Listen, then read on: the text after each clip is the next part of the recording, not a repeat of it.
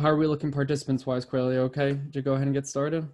Yeah, we're only missing about two now, so it's okay. All right, sounds good. Well, good morning, everyone. Welcome to this session. It is called, um, title of it is Advanced Canvas Formatting Using Design Plus. I believe I know everybody on the call, but for those who I haven't had the pleasure of meeting, my name is John Glavy. I'm the coordinator of distance learning here, and I'm joined by Quayle Snowden, the senior instructional designer. Um, kind of a shameless plug that we always like to remind folks especially as things are starting to heat up as we prepare for summer two and already looking ahead for the fall. Don't forget, if you ever need immediate Canvas help, please feel free to reach out to the help desk where Quayle and I are able to pull your ticket. Or if it's after hours or say on the weekend or kind of like this weekend when we're swinging into a holiday weekend, don't forget you also have access to Canvas's 24 7 support through Instructure themselves. Instructure is the company that makes Canvas. So please don't ever forget about that. So let's talk about Cidi Labs. You'll hear a lot of you have heard this kind of company or tool names before. What Cidi Labs is, so Cidi Labs is actually a company that has four different products that are helping faculty across the country in instructional support design and in the classroom. It was founded by a group of folks headed up by, uh, by this guy called the, by the name of Ken Larsen from Utah State University. And he is also joined by a couple of folks who actually used to work at Canvas. Kenneth is still working at Utah State University as a lead instructional designer. The company has grown where they have, like I had said, four full products out there now. Rider owns this product called Design Plus, or sometimes you might hear us called Design Tools. That was the previous name of it. And what's really neat about Design Plus is it has three distinct parts right within the tool. Something called the that we refer to as the content editor, a upload and embedding of an image tool, which we'll demo today, and this really cool add-on called the multi-tool, which we'll talk about at the end of this session, that really makes it easy to start up your Canvas class in the beginning of the semester and build it out. So what we're going to be covering today, because like you'll see in a few minutes, this tool is truly, truly robust. There are still times, and Quayle and I have been using it for well over a year and a half now, that we will even be going back and forth showing each other tips and tricks that we never even knew were in there. So rather than try and cover everything in a very short session, we're really going to focus on kind of the four most important topics that we feel faculty end up will like to utilize. That's applying these template pages that we have already created and ready to go for you using one of those template pages called uh, as the syllabus page, which is probably if you were to walk away here with one activity to be able to go ahead and try and play for you, play around with yourself later today, it's definitely that syllabus page, and we'll be talking a lot about that. How you can do some other advanced formatting within content pages in Canvas, as well as using the multi-tool. So like I mentioned, the TLC has already created a few different types of template pages for faculty to be able to utilize. They are as follows, the syllabus page, what we call overview pages, module overviews, which we'll show, weekly readings and lectures pages. If you have, say, a lot of videos that you require students to watch, we have a dedicated page you could utilize for that, an assignment page, as well as a discussion page and a quiz page. Just to kind of preview what we mean by what we say templates, Here's an example of the module overview page. If you are somebody who's using the module structure already and you like to kind of have either a welcome video to the week or maybe a welcome announcement where you cover a lot of topics, you can also do that via a content page, which we'll show you later. And here's an example of what the page will actually look like. And you can see just objectives, readings, and learning activities. All of this you can change around and, and mix it up to fit your needs. The readings and lecture page, pretty basic, but still looks very good.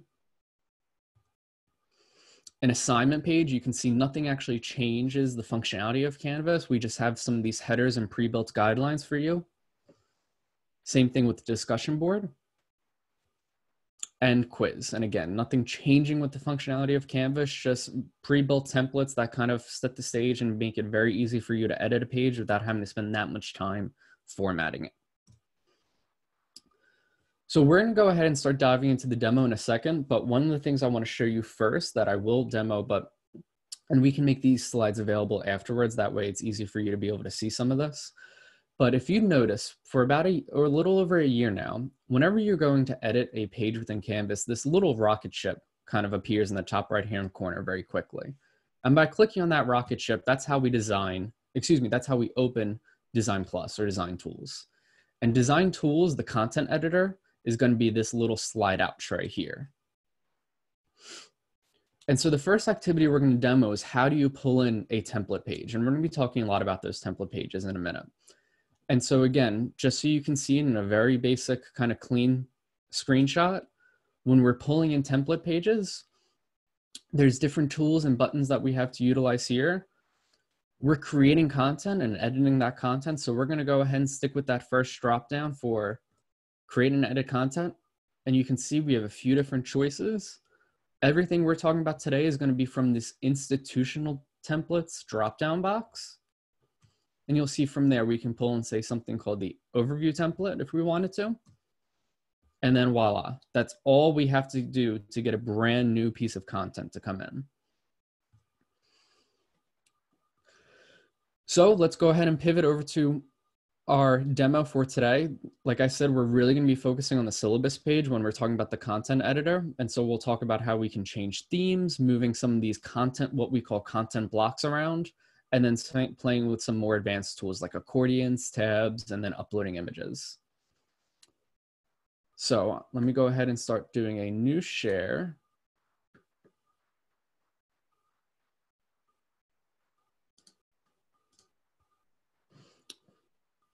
Is everyone seeing Canvas now? Perfect. Okie doke. So let's pretend like we're in a brand new empty uh, course shell and canvas for the semester, similar to how what you're gonna, what you normally experience when you're going in. Just trying to find my mouse now. All right, here we go. So, like I said, let's talk about the syllabus page. So we'll go ahead and go into syllabus, and we have our blank page. So let's go ahead and click on edit. And then by clicking on the little rocket ship, we have design tools opened up. Design tools has different layers or, or different settings basically where you have basic users, intermediate users, and advanced users. The topics we'll be covering in this session today, since this is advanced formatting within Canvas, are going to make require us to enable the advanced settings within Design Plus. To enable it to the advanced settings, we'll go ahead and click on these little gears icon in the top right-hand corner. Like I mentioned, by default, it's going to be set to basic for everyone. I'm going to go ahead and click on advanced. That way it automatically turns on all my advanced settings. And at the top, I have this other toggle called automatically launch tools. And what this will do is alleviate the need for me to click on that little rocket ship every time if I wanted to. So it's not a requirement, but I'm going to go ahead and turn that on for today's session just because it's a little bit easier. Excuse me, let me turn my notifications off so you don't get distracted by those. And I'll exit out of that. Okay, so we're back to our syllabus page. Like I said, to make things a lot easier and rather than start from scratch with all of our advanced formatting, I'm going to go ahead and pull in our template page that we already have pre-built for you for the syllabus. So to achieve this, like I mentioned before, we're going to go into create edit syllabus content. And now we're going to go down to and copy existing content because like I said, we already have that template pre-existing for you to utilize. And now, like I had mentioned, we're going to be sticking with institutional templates for today. And I will pull in the one that's here, rider syllabus template. And just like that, we have all this content that gets pre-populated for instructors to utilize. Almost everything faculty members are able to change here, and that's what we're going to be talking about next. How do you actually start changing and rearranging some of this content? But we really try to make it tail this. We do make this template tailored after best practices, both based off of the Quality Matters rubrics as well as the Online Learning Consortium. And so you'll see very common headings, uh, especially if you're in the from the the Norm Brodsky College of Business, the headings are actually verbatim of the headings from the online temp the excuse me the online syllabus template that was APC approved, just because to make things a little bit consistent. So course description, and we explain how you can go right to the academic catalog and pull your description in, things like prereqs, course objectives, course requirements like the excuse me like the textbook, what internet and Canvas access will be required, so on and so forth. Nothing special, nothing unusual, just something that I'm sure almost everybody is already including. What is your grading policy and schema, and so on and so forth. Before we start talking about how do we actually change content and move it around, I want to talk about this bottom section called institutional policies and procedures. If we notice when I'm hovering over this, we have this little this little flag in the top left hand corner of this content block that says policy content locked. What this means is the one piece that you cannot actually change within this template is this bottom institutional policies and procedures. And the reason being is this is actually a piece of information that Kweli and I and Hee Young are actually able to control for everybody on the back end of Canvas. And what's nice about this is there's nothing special in here, other, um, or I should say nothing unique. It's all of the content that faculty are already encouraged to add, and in some cases required, such as the academic accommodations policy at the university, information for the Academic Success Center, academic integrity, as well as online communication guidelines like the, the Rider emails, official policy, professional conduct, preferred name, so on and so forth.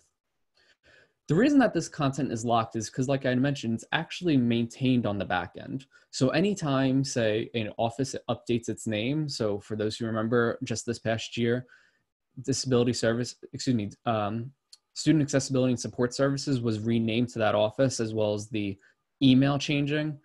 A couple of years ago same thing with the academic success center their email had changed. And rather than faculty have to remember and uh, to make all those updates across their syllabi we're able to push those updates out automatically. You could always remove this content entirely if you did not want that feature but we actually end up tending to find that faculty find it as a good convenience to not have to worry about that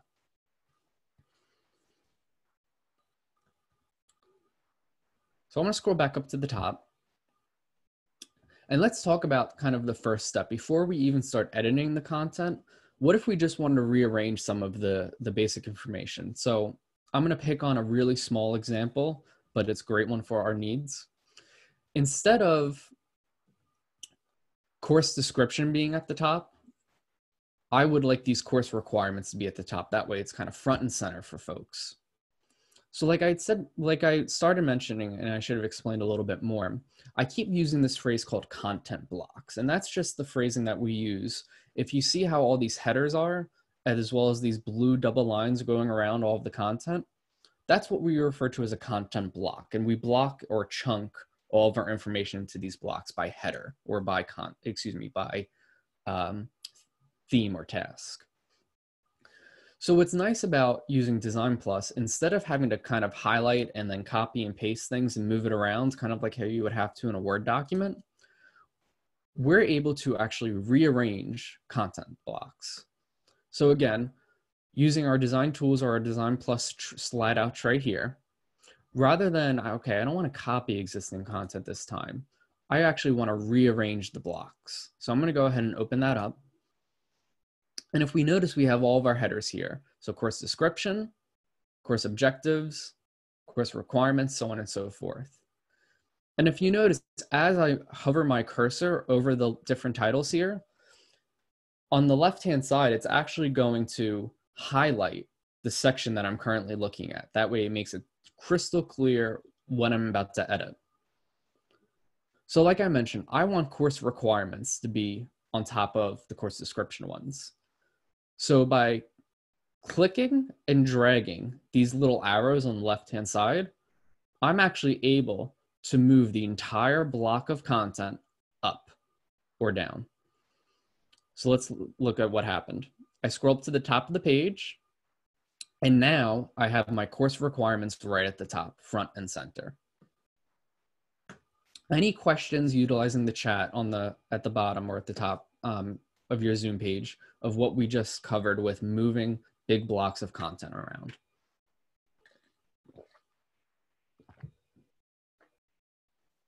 Cool. Okay, so we moved it around, but okay, we actually didn't do anything, right? How do we edit that content?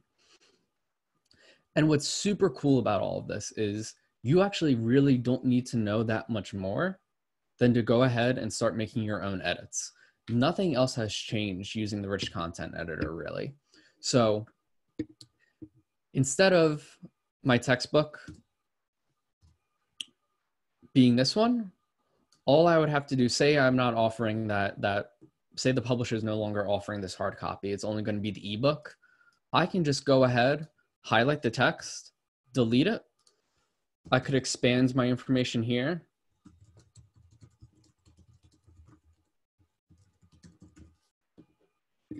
Again, if this information that was a part of the template originally isn't pertinent to me, I can just go ahead and backspace all of that. So John, there's a question as, can you undo in the content editor? So, Carrie, it depends where you are in that uh, trying to undo process. Uh, no matter where you are within Canvas, if you're on a PC, you can always do Control Z. On a Mac, it's Command Z, and I'll do that right here, where I can undo the two changes that I just made. And then similarity, Shift Control Z to go uh, to go forward. The only thing, once you click on save, you can no longer undo any of your previous steps. Does that make sense? And like I said, this is the same that uh, anytime you have content editing, so you're doing an announcement, you're doing discussion board, quiz, you can always do that command Z or that control Z type of that task up until you click save.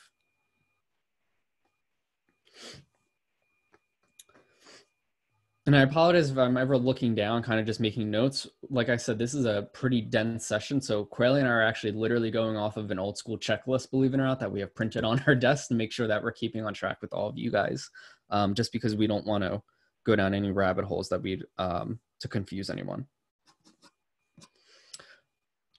So speaking of save, I am OCD, whether it be in Microsoft Word, PowerPoint, or in Canvas, about saving my work as I'm going, just because Murphy's Law, I completely believe in that as soon as you make a lot of progress on something you're really happy with it, all of a sudden it gets erased just because you're having a bad day, right? So since I just made a few changes, I made a couple of big changes. I moved around that content block. I deleted my textbook information. Let's go ahead and click on update syllabus or the save button at the bottom. That way I can check out and see how things look. Okay, and I can see that block got moved up for course requirements at the top. I'm happy with that. Perfect. So if I look in course requirements, let's pick on this a little bit more. If I notice, I have these different types of interactive, what we call accordions, or excuse me, expanders. And that what that means is when I click on one of these sections, there's actually more information right within there. And this is really nice uh, within any internet page, not let alone just within Canvas. And I'm sure you've seen similar types of functionality across the internet where there's a lot of information about a topic, but all that information might not always be pertinent to the user. So rather than having a really, really long syllabus where you have to keep scrolling, we can actually kind of hide some of those content pages, some of those pieces of content until the user wants to click on them and see them. And so what we're going to do next is show you how to change anything that's currently here, as well as create a new piece of rich content, such as an accordion or a tab. So let's go back into edit.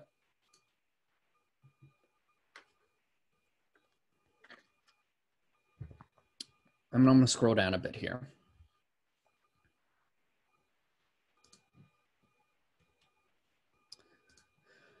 And let's say, okay, these four look good so far, but there's one other piece of requirement that's going to be required. Um, Corelli, can you think of anything good that would be to maybe in an example class? Seriously. I meant to come up with an example before. um, so let's pretend what we have a Porto internet access. Let's let's say we're talking about a lab. Um, I'm teaching a lab course, and there's going to be different lab requirements for this course, and I want that to be covered in course requirements. So I want to add one of these other sections. To do this, let's go ahead and go into add advanced elements in our design plus layout tray. And as a reminder, if you did not already enable the automatically launch design plus on start, we would have to go ahead and click on that rocket ship and then bring it up. So I'll go into add advanced elements and we'll go into accordions and tabs. And we'll see my four sections are here right now. If for some reason those were not appearing, sometimes if you notice they just went away even though I'm looking at them, Design Plus is going to be looking for where my cursor is on any elements or any pieces of information to add. So I just have to make sure that my cursor is in the section that I'm trying to change around. Okay, so like I had mentioned, I want to add a fifth section here called lab requirements. So let's go ahead and what we're going to do is click on the add panel button here and we'll notice panel heading and panel content has been added. I can change the header right here on Design Plus. And we see as I'm making the changes here, the title is getting updated as well.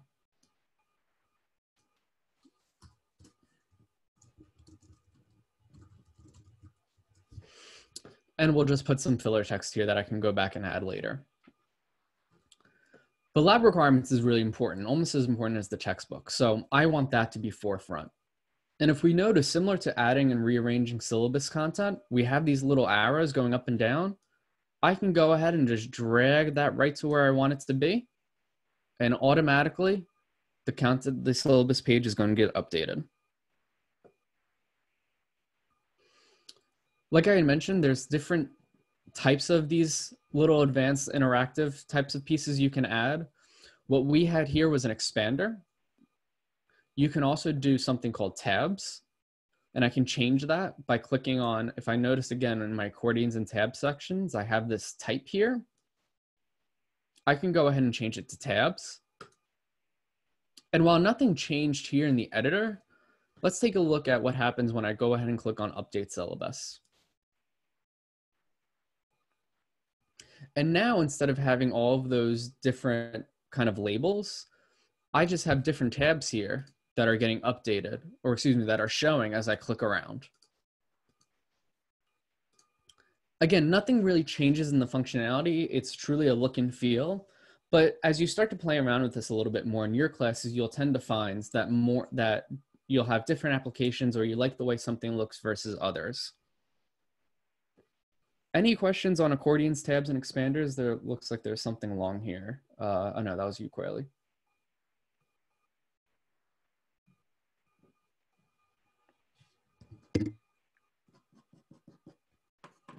Okie doke.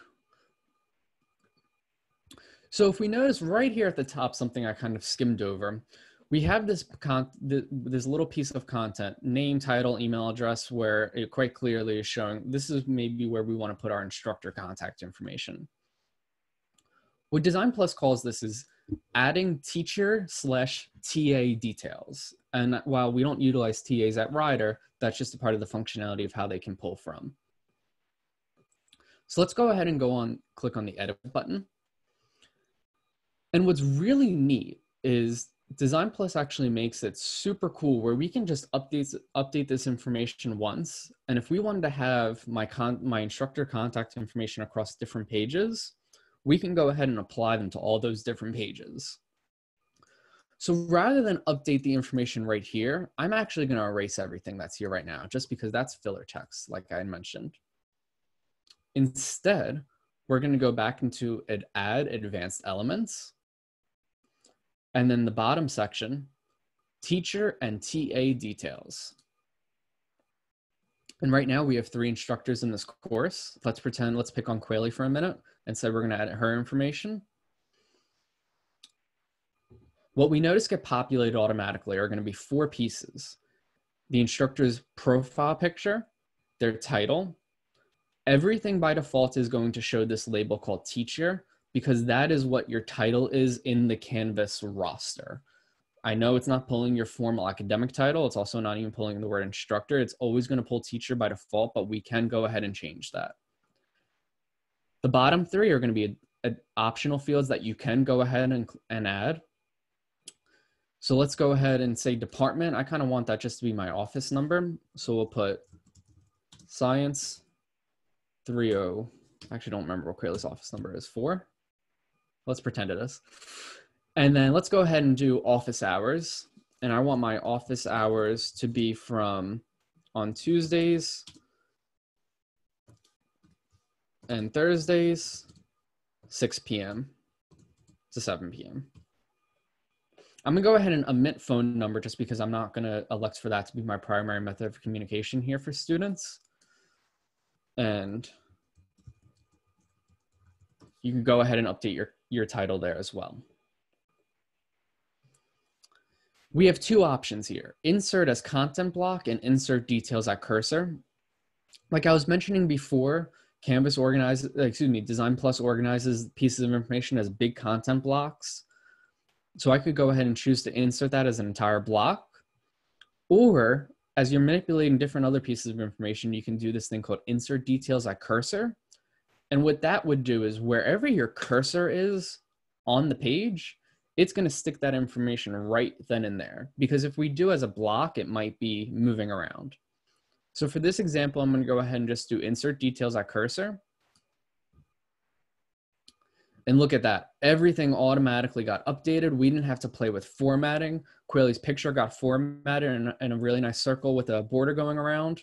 If we wanted to, we could always change that down the road in a more advanced session, but we'll go ahead and leave it. And as just a quick reminder and side note, the profile picture that's being pulled from is going to be pulling from either your university security card ID or your official university headshot that was taken by Pete Borg.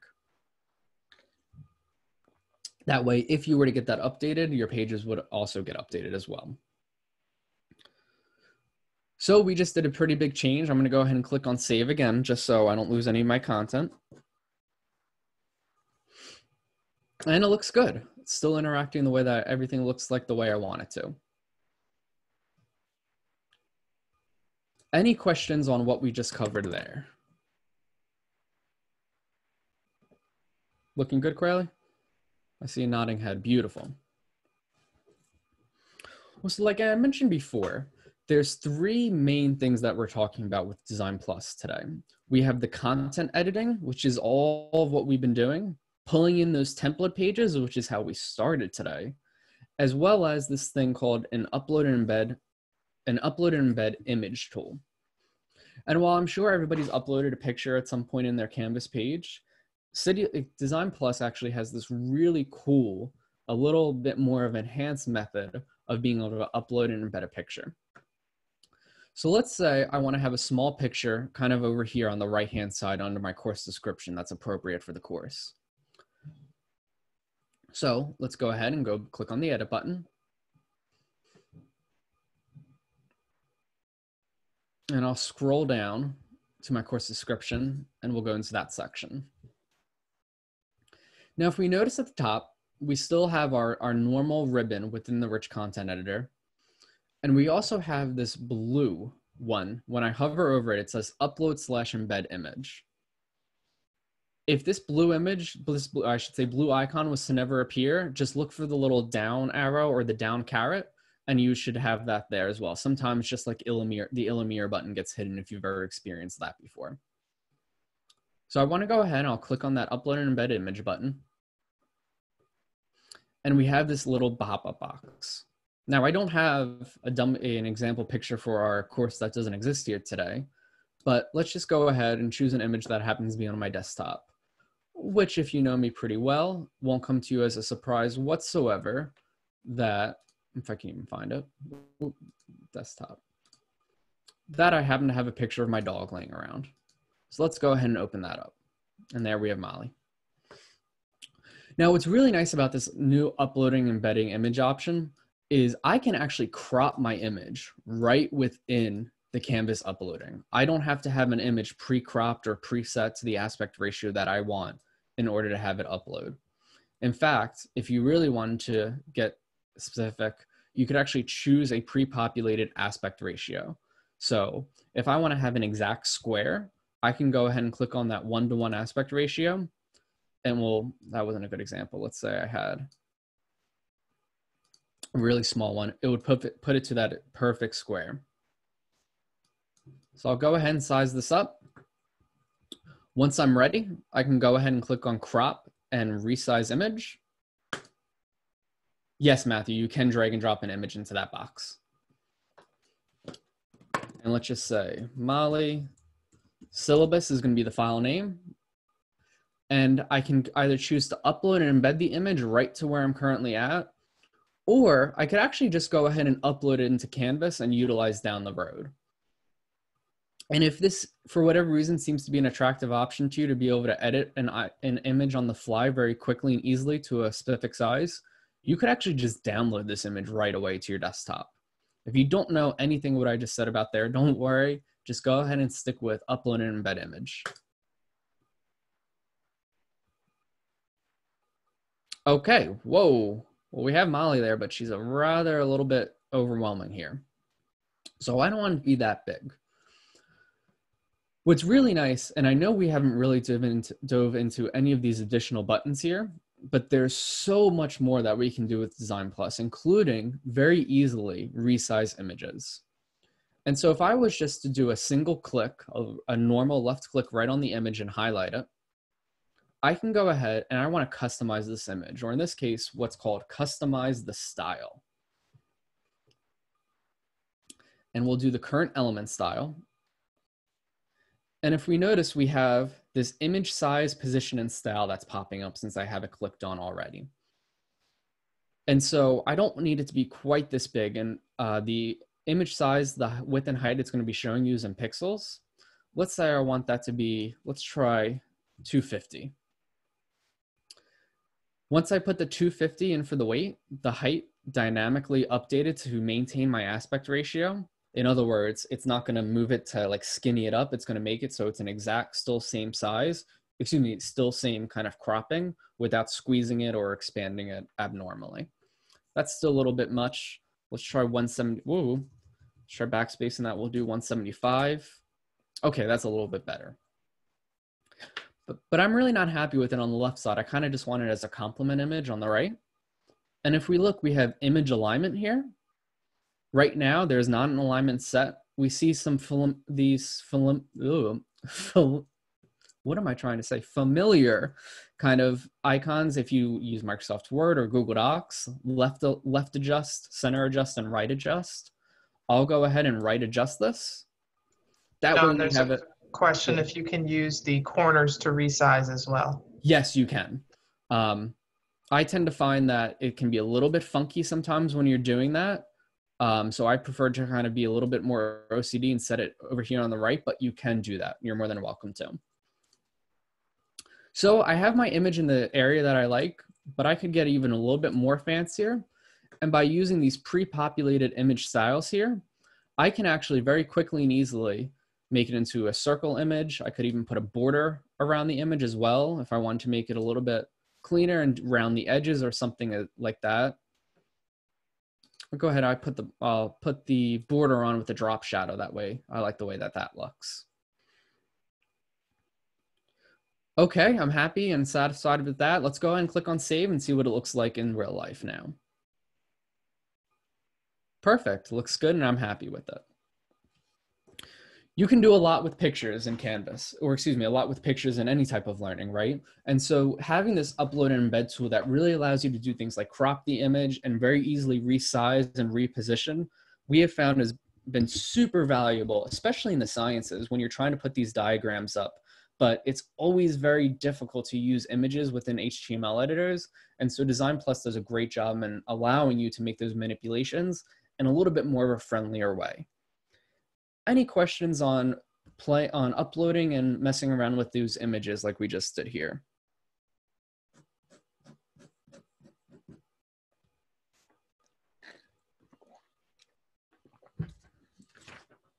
Alrighty then. And we're doing pretty good on time. Look at that, Quayle. So let's take a break from editing content for a minute. And this is going to seem completely off the cuff, but one of the other uh, areas that we would like to bring your attention to in Design Plus is actually something that the company Cidi Labs built just for Rider. And they ended up really liking the idea that we came up with and rolled it out to all of their clients. And that's this thing called student cards. And so this actually might not be a great example. I'm trying to think if I have any students in the sandbox right now. Okay, we do. Perfect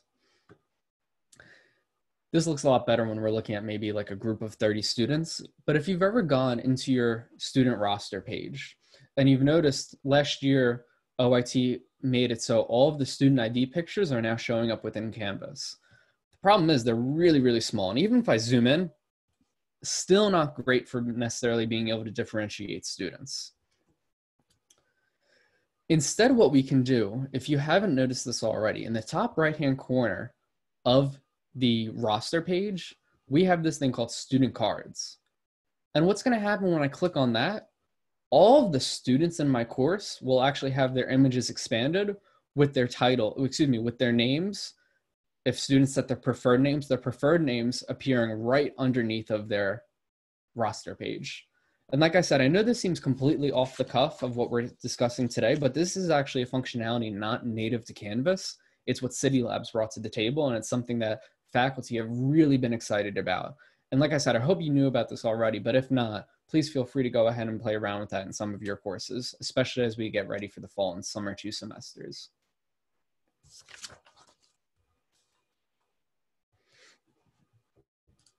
So like I had mentioned before, we talk about, we're talking about templates a lot, and we're gonna come back to the template discussion in a minute. But again, in our pretend example here today, kind of to model it after you getting ready for your fall semester, let's pretend we are in this blank Canvas course. We have not copied any content over from our previous semester. And let's go ahead and get our modules set up or our, mod our module structure set up for the semester. The third and final big functionality or tool that Design Plus brings to the table is this thing called the multi-tool. The way that we get to the multi-tool is we're gonna go ahead and click on it on the left-hand side navigation pane. However, when we look here, I don't actually see it, and that's because I have not enabled it yet in this course. So similar to any type, you're, anytime you're trying to rearrange these content piece, the excuse me, these links on the left-hand side, I'm going to go ahead and click on settings. And we'll go to the navigation tab in the ribbon. And if I scroll down a bit here, we see at the bottom, I have this thing called the multi-tool. So I'll go ahead and drag and drop that up a bit. And then remember to click on save. That way we have the multi-tool link now accessible. And there we have it. So let's go ahead and click on that.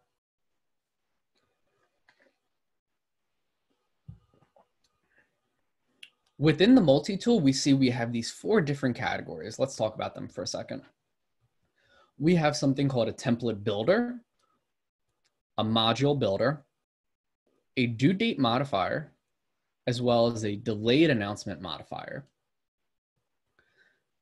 Like we had said at the beginning, we at, we at Rider within Teaching Learning Center already have some pre-built templates for you. And that's why we went to those institutional templates before when we were copying it over. But what Design Plus allows you to do as well is you can actually create custom templates just for your particular course. So for example, say we had lab instructions that we always wanted to give before lab sessions, and that was kind of using the same headings, the same information, but we just had to tweak it each time. We could actually make a lab requirements template. Now, we're not going to discuss doing that today, but if you ever wanted to do that, all you would go ahead and do is click on the template builder. And then page title, we'll call it the lab template. And then create a template page. And this template would then be created in your, in your individual particular Canvas course. So let's go back home and let's talk about these other three in particular these middle two, module builder and due date modifier. If I open up the due date modifier, what's really neat about this, and we're not gonna see too much here right now since there's no items here, but this is especially useful if we copied over a previous Canvas course and we actually wanted to be able to make all of our due date changes right within one page. So rather than going into all of our assignments and all of our discussion boards or quizzes one by one by one and change those dates around, everything would appear within one particular section and I could just change them on the fly. I'll come back to that due date modifier in a minute. That way we can see what that looks like once we have some pieces of content. But what we are going to talk about at a little bit more length today is this thing called the module builder. Let's go ahead and open that up.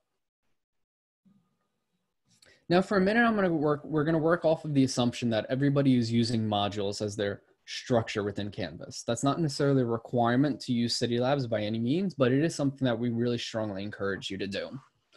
And so if you're used to using modules in the past, you've probably noticed that you end up using the same structure in all of your modules. So whether that be you have a kind of overview page starts of the week, or maybe you always have a discussion board, um, a weekly quiz, kind of like a check-in quiz or something like that. We're going to show you how much quicker you can actually do all of that at the start of the semester. So if we look at new modules, we have this first topic that says new module pattern, where we have this thing called a module prefix, the number of modules we want to create, as well as the starting number. And so when I look at module prefix, I have all of these different naming schemas. In here, instead of maybe maybe I don't call everything module one, module two, maybe I call them week one or week and week two or unit one, unit two. Whatever naming schema you use, there's more than likely it's already going to be populated here. But for our example, I'm going to go ahead and stick with the module naming schema. So I'll click on module. And I want to create, let's say, 12 modules. Starting number means what number do you want Design Plus to go ahead and kick off with? What I have seen some people utilize in the past is say if they start with a start here module or like a getting started module, you can actually change this to module zero. I'm gonna go ahead and just leave it with module one. Okay, now let's talk about, well, what are we actually putting in our module content? So I know I like to use overview pages whenever I'm working with this. So we're to go ahead and start with a content page. I also know that there's always going to be a weekly assignment as well as a weekly discussion board. And in most of the weeks, I even do a kind of a weekly quiz. So I'll go ahead and click on quiz. I also like to kind of categorize items as well by my headers. So let's go ahead and add a header or I'm actually going to add two headers because I do these learning activities and I also do just PowerPoint uploads and then I upload all the PowerPoints into the modules as well. So I'll add two headers. If we notice on the left-hand side, you might see a similar icon that you've noticed throughout Canvas, and that's these six little dots. Similar to how you can drag and drop and rearrange content within modules, I can actually rearrange them right here in our module builder. So I know I always have a header before my learning activities, and then I have a header at the bottom. I can name everything so it goes and creates it right away for me. And I'll show you what I mean by that in a second. But so let's say this is going to be module one overview, we always call it. I have my header here. I'm just going to call that learning activities.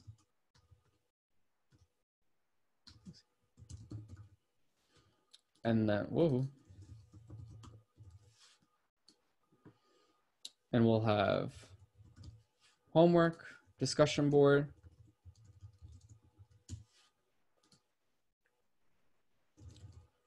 I'm just gonna, we'll do a check-in quiz and then my PowerPoint slides.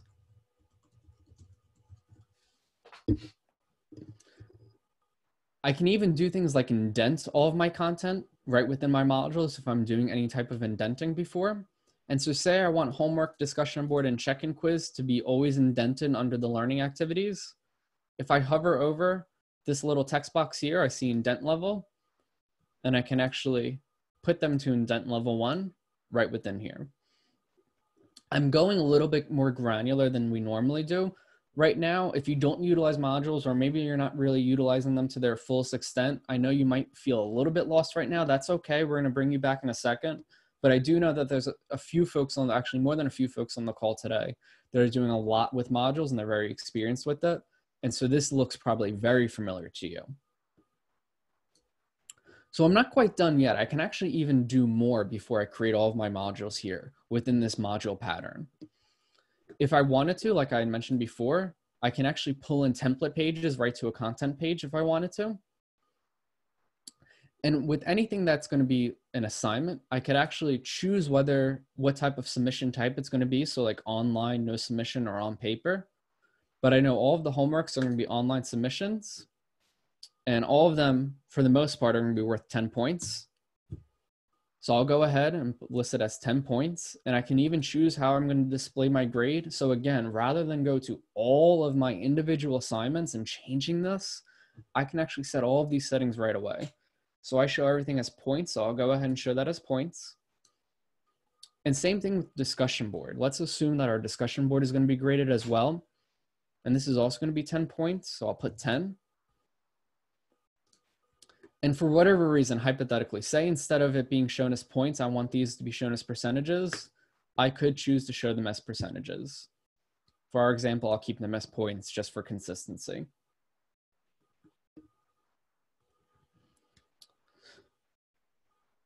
Okay, everything looks good. There's nothing to add underneath the PowerPoint slide since each module or each week it's going to be different of the files that I'm uploading. So there's never going to be consistency. Right now, we're just building what's going to be consistent. So I'll go ahead and leave that blank. And then I'm going to click on this magic button here. And there is a wand on purpose because it truly is magic. And then, John, yes. We have a question about can you show again how you added the points?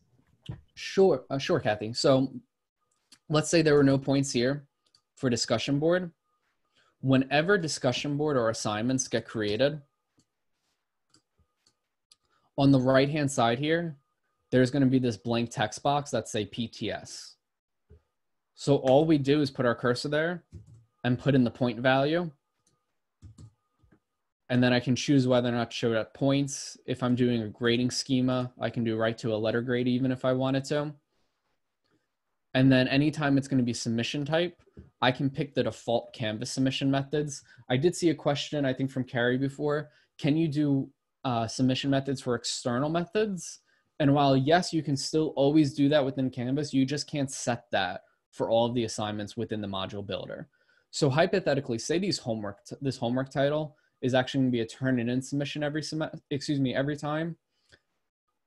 I'm just going to leave it as blank for the time being. That way, I know to go back and change it to say Turnitin. Does that answer those two questions? Nodding heads will suffice. Perfect.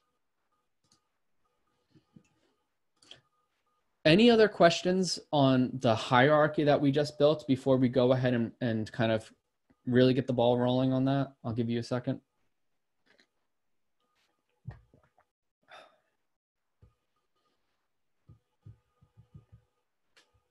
Okay, look good. So let's go ahead and jump back into this. Everything looks good to me here. I'm going to double check. I like everything to be called modules. We'll do, go ahead and do 12 weeks, starting with module one. I will go ahead and click on generate module list. And let's look and just see what just happened. So as I scroll down, I have module one, module one title, module two, title that I can add. By default, I'm going to have this text called module two overview, module two learning activities, module two homework, discussion board, so on and so forth for all of the modules that I told that I told uh, Design Plus to create, which was 12. And look at that. But I can actually even do more right within this one page without having to go and do a lot more edits. So let's scroll back up to module one at the top.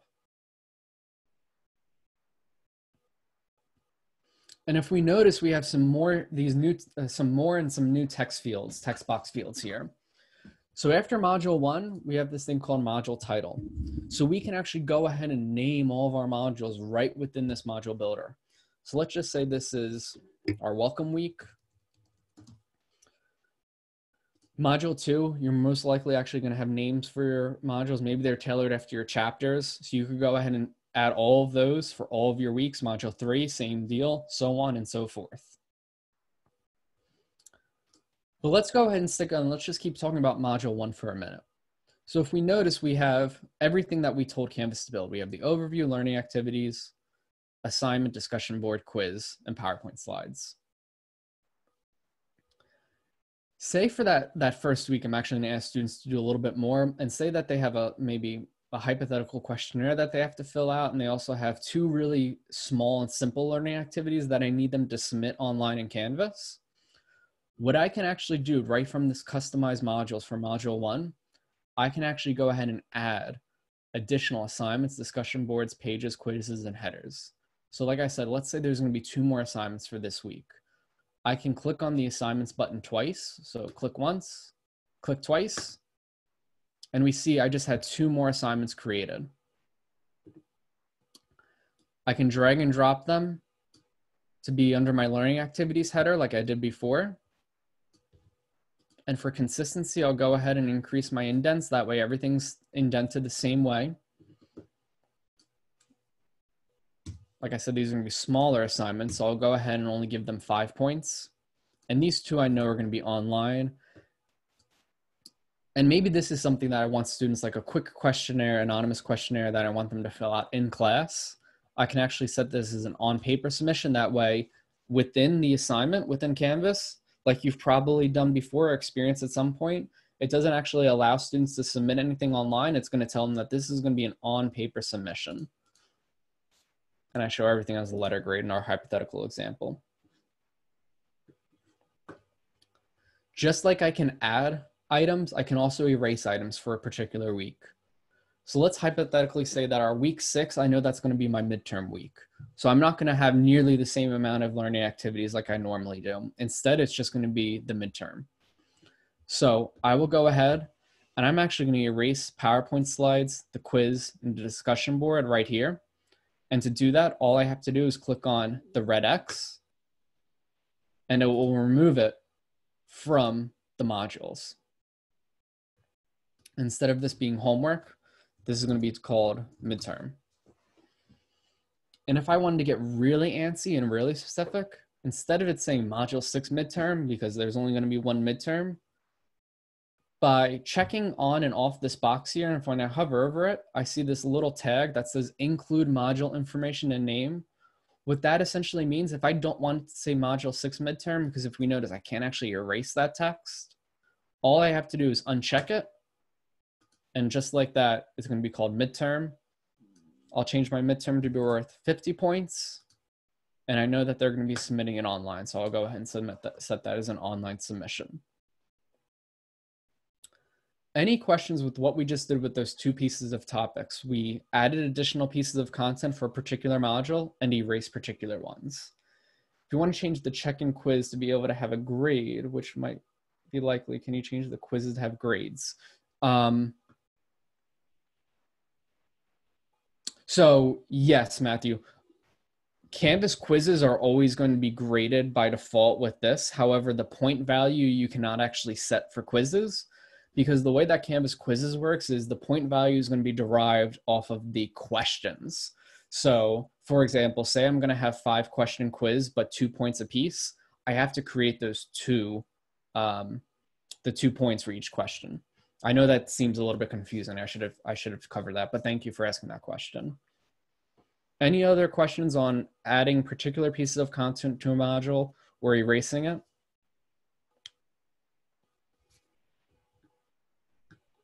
Okay. So let's say I made all of my changes. I, I changed my module titles. I if I wanted to add anything else to particular or erase them, I went ahead and did that. If we scroll down to the bottom, I, we see I have two buttons here. I have this blue one that says add modules to course and then save progress. Because everything that we've been doing here right now has just been to get us getting started for the module. Yes, the grades will be automatically populated in the assignments module as well. Uh, good question. So say if this was a, a, longer activity for you and you didn't want to go ahead and have everything done, I could just click on the save progress, but I'm ready to go. So I'm going to go ahead and click on add modules to course.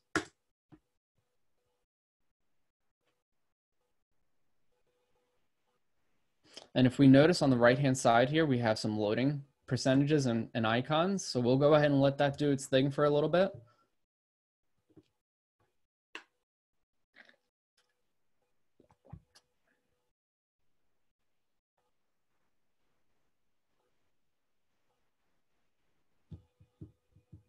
And since I create a lot of modules, it's taking a minute.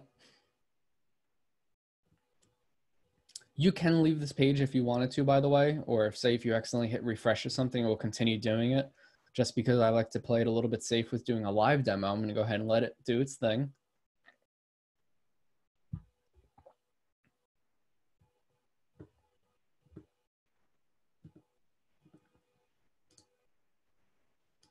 Has anybody utilized this function before? If you, if for those who knew about it, nodding heads no for most of you. Do you see, think it might be useful? Well, that's good. I like to see nodding heads, or at least for the most part. It definitely does save you a lot of that prep work in the beginning, which I really like.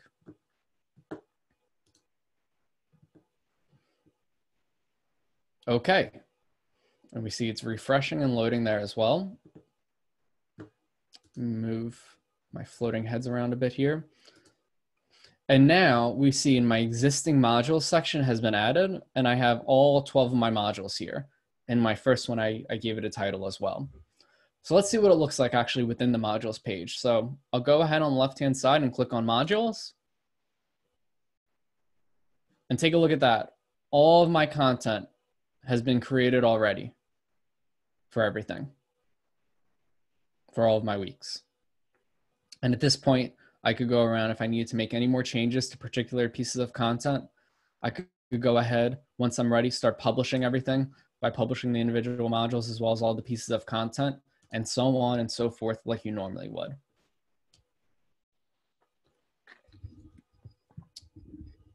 Let's go back into the multi-tool and let's take a look at something else that I talked about for a minute before, the due date modifier. Let's open that up. So now that we actually have assignments, we might, we'll actually be able to see something a little bit more useful. And since this is the first time I've reopened it, it will take a second. And let's take a look at what we have here. I'm showing all of my assignments or anything that could possibly have a submission now right within my due date modifier section.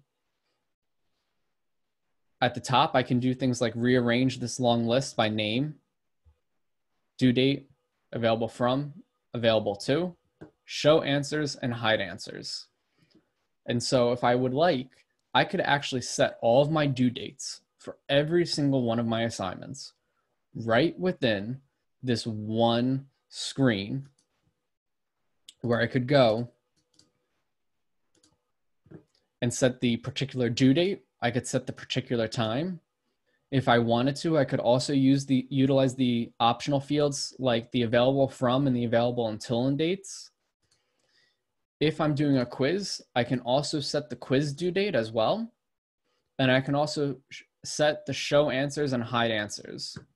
And then just by clicking on update or at the top by clicking on the update all button, I could go ahead and publish every single one of my due dates automatically to all of my pages.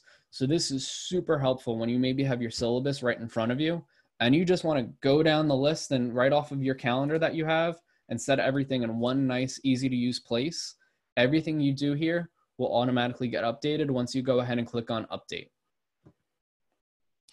You can even do things like filter what is being shown here. If I just want to show my published pieces of content, so we see only module one is showing up right now because this is the only topics that have been published. Same thing, I only want to see unpublished. I can also even do something like filter on graded versus ungraded.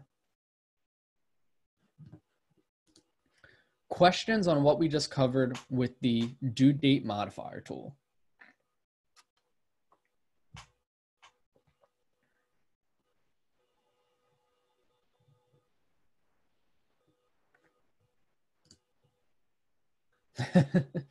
Glad you find it awesome. I, honestly, the multi-tool alone is all is unbelievable. Being able to create that module structure and hierarchy, the due dates on its own. Canvas actually announced that they're gonna uh, they're gonna be creating a tool like this. I think right now it's in the beta format where you can start changing all the pages. Uh, excuse me, all the due dates. They are far away from having it as advanced like this, um, and it actually looks eerily similar. So I'm pretty sure they're they're somewhat utilizing the same coding for this. So let's go back into our multi-tool and let's talk about the one last topic that's right here within the tool. And that's going to be the delayed announcement modifier. And I do realize that we're nearing that hour mark, which is where we're trying to get the content wise and then open it up for when we can have everybody start unmuting and ask more specific questions. So we're just wrapping up. Thanks for your patience. let's go ahead and delete announcement modifier. And while there's no announcements here, you'll at least be able to understand the concept that it's going to be the same thing as the due date modifier. If you are utilizing that delayed announcement function, you can set all of the dates for your announcements right here in the same place. If you copied over announcements from a particular, a previous course and you want to reuse them and just update the dates, you can do all of that right here within the multi-tool. Works really well.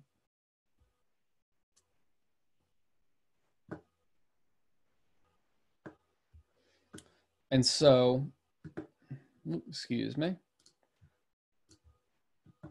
So at that point, that's going to cover the topics that we wanted to address with you today as far as doing the blank demo on ourselves. So within the syllabus page alone, we discussed how you change those themes, excuse me, how you add and move the content blocks around. I'll actually go back to showing you how to change themes. I realized I forgot to do that. We added teacher TA details. We worked with a lot more advanced things such as the new photo tool, as well as thing, adding things like accordions and tabs and changing them around. We discussed the how you do just basic editing in those content pages. So anytime you see where you have your cursor, you can go around and move it. You can go ahead and update that as well. And we talked about using the multi-tool. I'm always a fan of shameless plugs. The last shameless plug I will just bring up is as a reminder, if you're not able to stick around for the next 25 minutes or so to ask questions, you are more than welcome to come to any of our drop-in sessions, Mondays and Wednesdays, as well as Tuesdays and Thursdays. We have the same timing schema. this is a lot of content we just covered. And like I said, there's a reason that we were doing in this way. That way you can go back and have the recording up alongside of you and then go back to move on and play around with it yourself. Please don't get too frustrated as you maybe forgot how to do one thing or something that you're trying to tweak isn't working as well.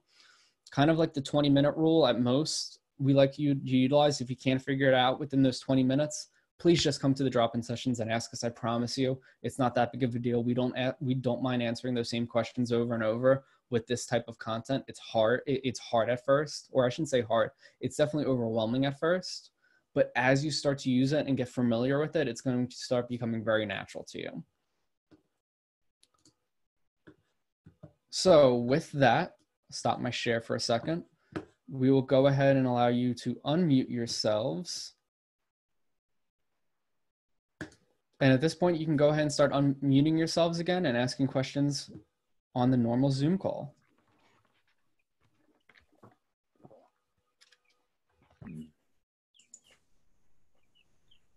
So um, I have a, I, I don't know if this is a broad enough question for you to want to answer here. If not, I can always come to the drop-in sessions. But for something like one of these um, external programs, integrating it in, is it something that you could show us or is it uh, based is it like uh, something that's different for each of those platforms yes and no i guess carrie so let's say we're using like my uh, pearson mylab.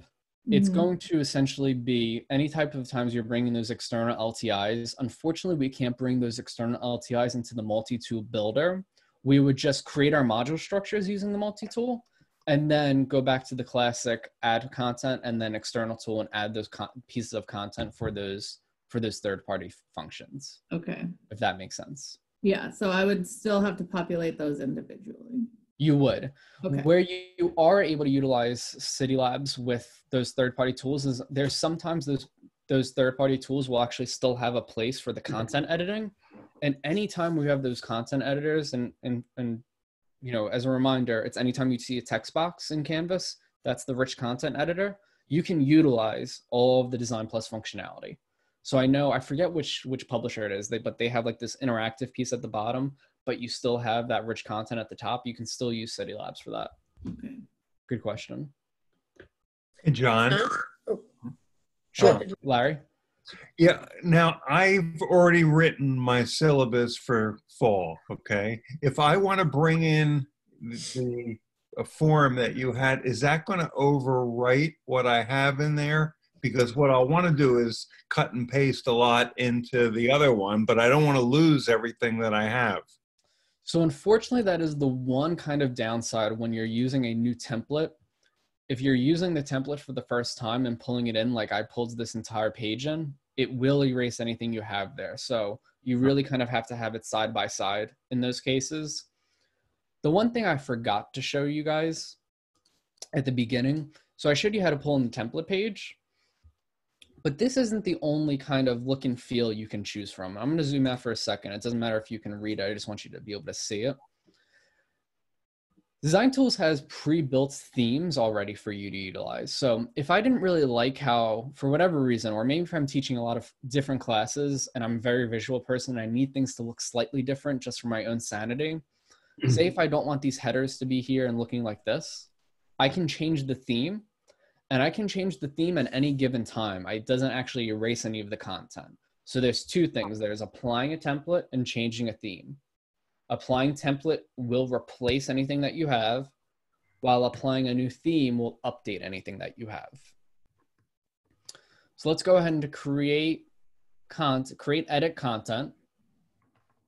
And this time, instead of doing copy existing content, we're going to go into choose a theme. At which point I can just go ahead. I can hover over the different themes that are here. And what's unbelievably cool is as I'm hovering over it, I'm actually getting this little preview right here of what it looks like with my actual content. And so that's super cool, I think. And so this rounded headings is uh, okay. It kind of looks the same as well. And you can really have some fun with this. Oh, the circle left one apparently looks a lot different. And that's something I want to try. So when I click on circle, just like that, everything got updated for me. And so if I click on the update syllabus button, I can see what they look like that might have what my page looks like now. And so it's kind of same but different, right? It still looks like the generally the same type of thing that I was looking at before. It just has an updated look and feel to it.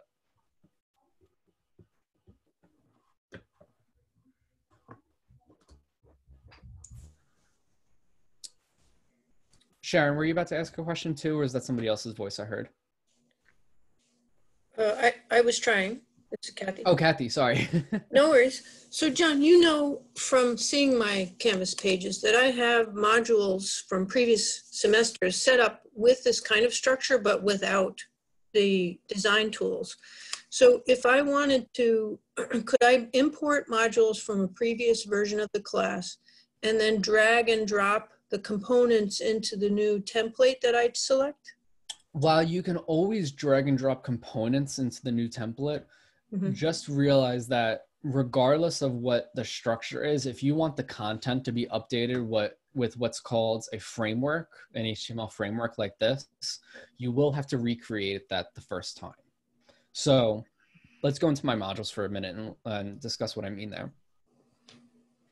So I have these overview pages here as an example. Say I already had an overview page created.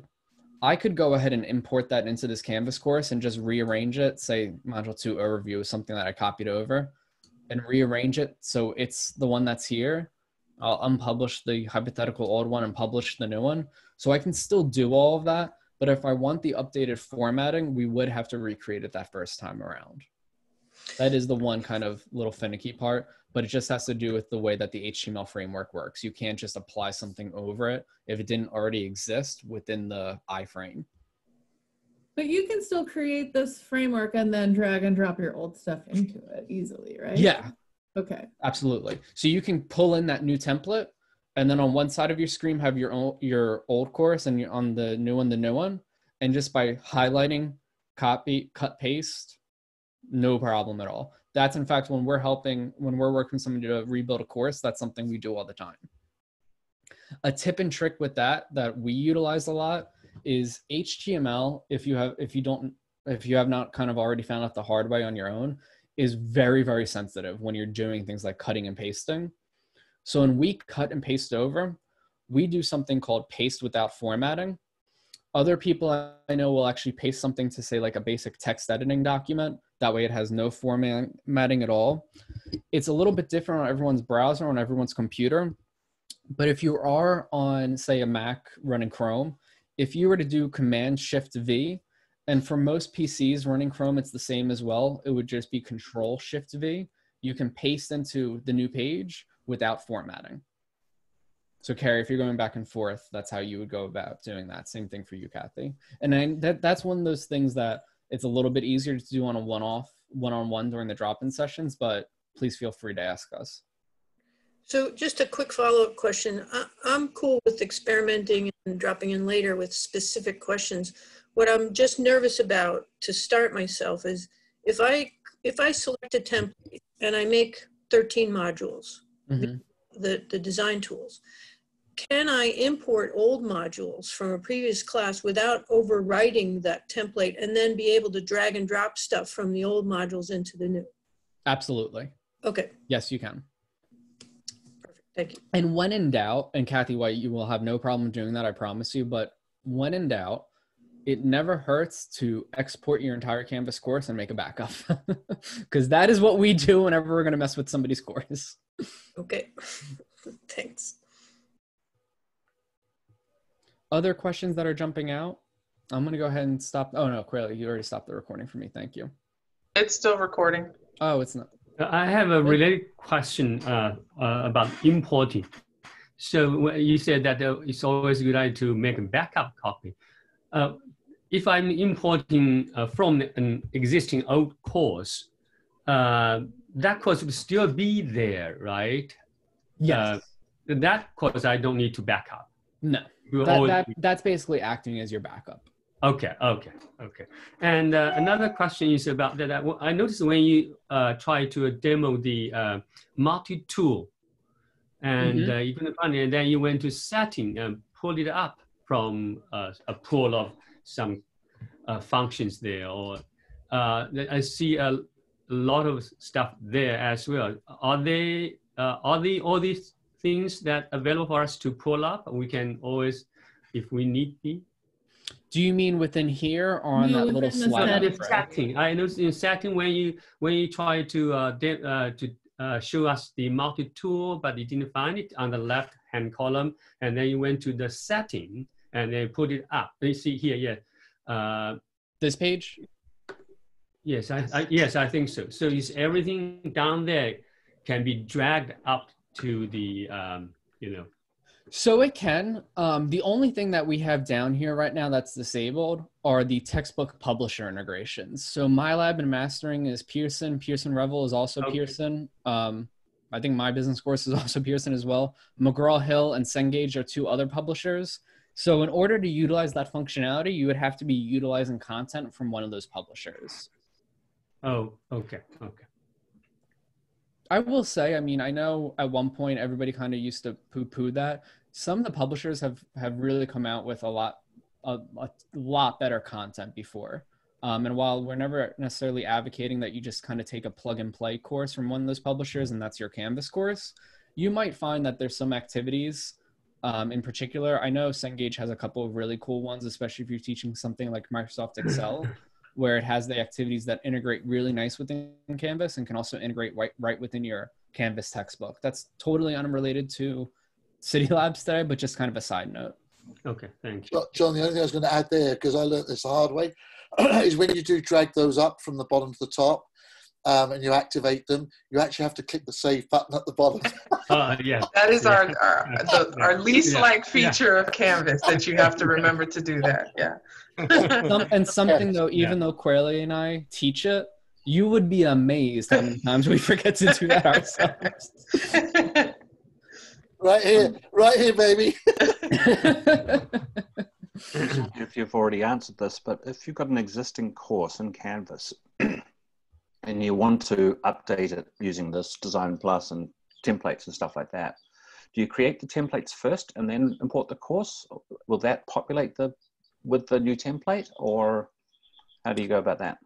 So we actually have, like I mentioned, we have those pre-built templates, uh, individual pages you can pull in on a one-to-one basis. We also have an entire Canvas template or a Canvas shell where we can give you the entire kind of course that's done in the sense that you have all of the assignments pages there. Um, but same thing though, Matthew. You if you want to bring in old content, you have to either do that copy and paste functionality or just not have the the pretty formatting we call it for lack of better words uh, embedded in there. Okay, Did did that answer, did I understand your question? I right, think or- so. Yeah, Okay. I think yeah. Sorry. So just out of curiosity, this is how you created the can, like, when I first started, I asked for the Canvas shell to be set up for me. You did it using this Yep. tool. Yeah, okay. And John, am I right in thinking that because this is all new to me too, the multi-tool, can you effectively? It seems like you can effectively set up almost the entire course in in that tool, more or less. Although obviously you use Zoom and other things, but it seems like the multi-tool can become the main.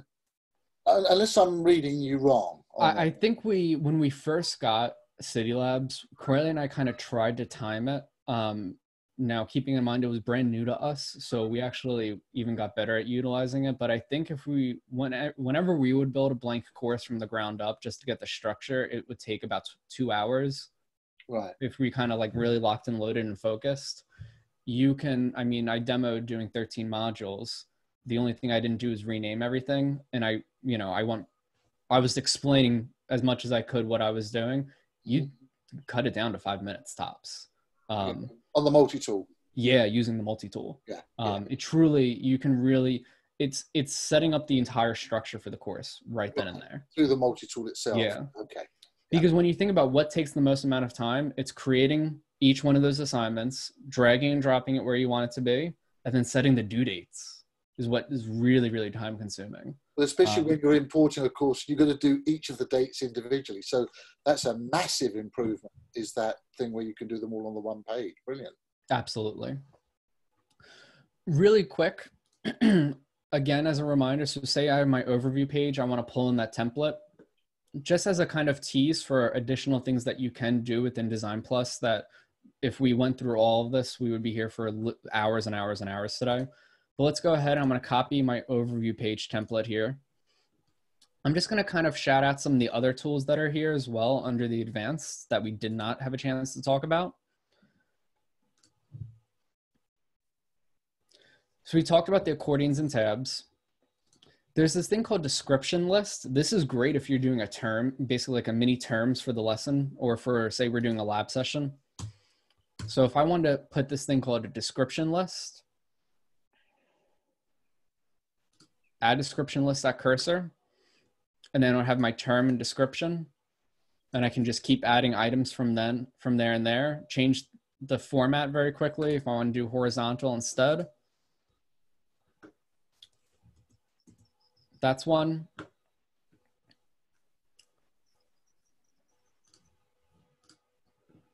Module progression, safe at the bottom of all my pages. I wanted students to kind of see where they were in the current in the current module.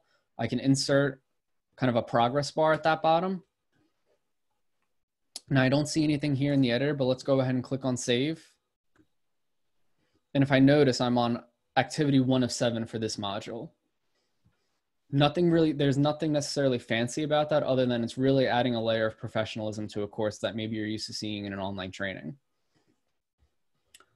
since Can you we are go to that drop down menu again really quick and Sure. show the options of the pre-created Rider templates templates? Yeah. Sure. So, like I said, we we have an entire shell like you use Carrie that time, but individual pages.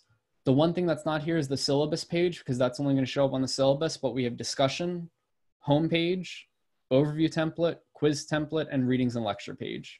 Cool.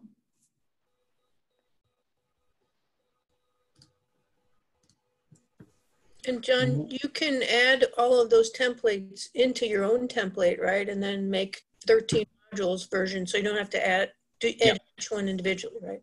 Exactly.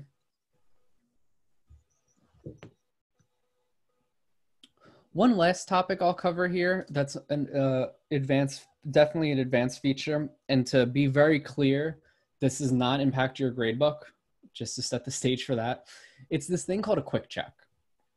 And what quick checks do, it's truly just something on a course content page to really essentially make sure students are still kind of paying attention or try encourage them to actually go back and read the content.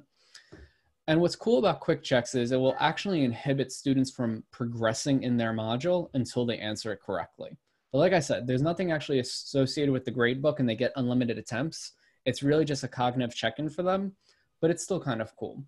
So let's say I want my quick check to be at the bottom here. So I'll go ahead and put my cursor here. And by going into my add advanced elements, I'll go ahead and add a quick check and then add it as a block at the bottom. At which point we'll see we have whatever my question text is, answer A and answer B. And then over here on the right-hand side, I can actually go ahead and check off whatever one is the correct one. I see that that's updated with green. I'll go ahead and click on save.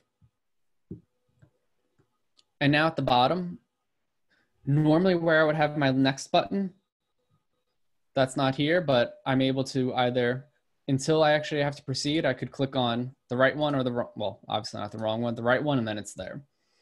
I really don't want to go down a rabbit hole too, too much with this. It's just kind of here. This is something if you want to learn more about, please feel free to come to the drop-in sessions.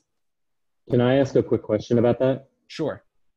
Um, students could get around it by going to modules and going to like page Like, I- three. yeah, like I said, it's really just, we don't normally cover it at all, other than we're doing okay on time. Okay, thanks. Any other questions on what we just covered a lot of ground? And again, like I mentioned, if you don't know where to start, go ahead and start working on your syllabus. Today's drop-in sessions are what's day is today? Wednesday. So it's going to be two to three thirty, right? Okay. John, And we can you please show me, I- I'm sorry, uh, can you please show me one more time the progress bar? How can we import progress? Sure. So let's go ahead. And I'll erase everything that I have here right now.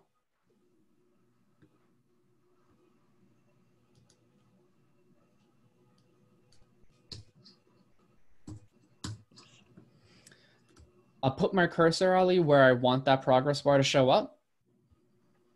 I'll go ahead and launch Design Tools if it's not already launched.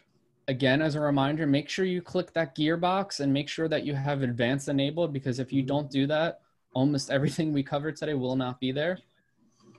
I'll go ahead to add advanced element.